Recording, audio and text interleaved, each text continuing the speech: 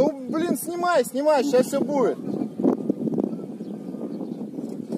Давай.